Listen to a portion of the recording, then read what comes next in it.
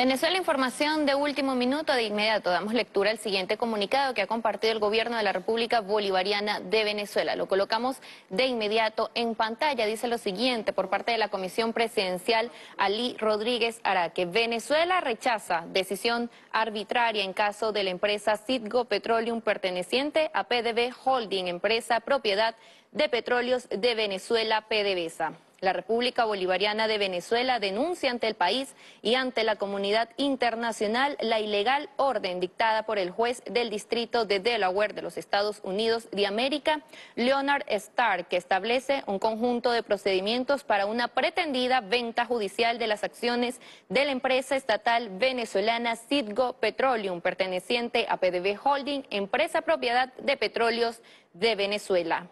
El Estado venezolano rechaza categóricamente esta temeraria decisión viciada de arbitrariedad y velada de parcialidad por el juez de la dicta, quien, alineado a la empresa Crystalex International Corp, forma parte del entramado internacional que responde al poder hegemónico e imperial de los Estados Unidos de América, profundizando así su guerra multiforme y su pretensión de expolio descarado e indiscriminado de los activos del pueblo venezolano.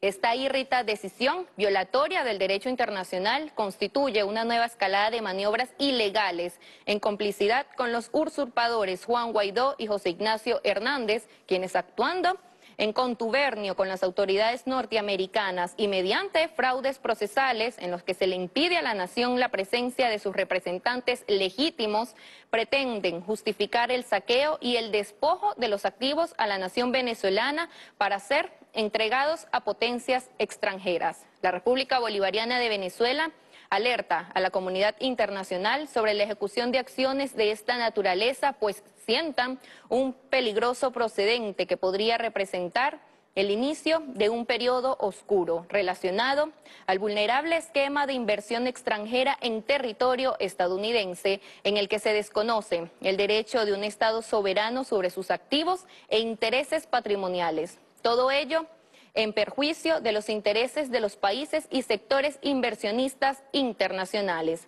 Venezuela no renunciará jamás a la legítima defensa de sus derechos y se reserva las acciones pertinentes ante las instancias y mecanismos internacionales que la asisten con el firme compromiso de rescatar y preservar el patrimonio de la República, cuyo único propietario es el pueblo venezolano.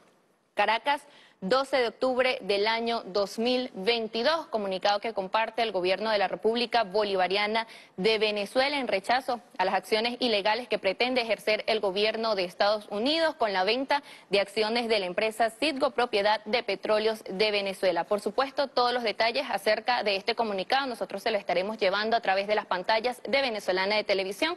Por el momento, despedimos este avance.